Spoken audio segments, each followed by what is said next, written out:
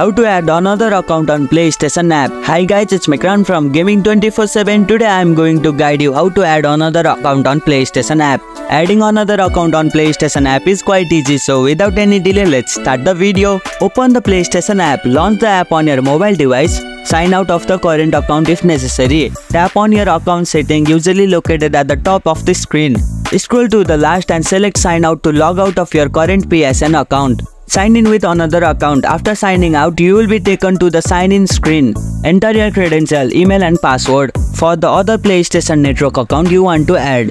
Tap sign in to access the new account. Switch between accounts. If you have to switch between multiple accounts without signing out each time, the PlayStation app does not currently support managing multiple accounts side by side. You will need to sign in and out of each account as needed. If you liked our video, press the thumbs up and share button. If you have any question, comment down below and don't forget to subscribe the channel for more tutorials.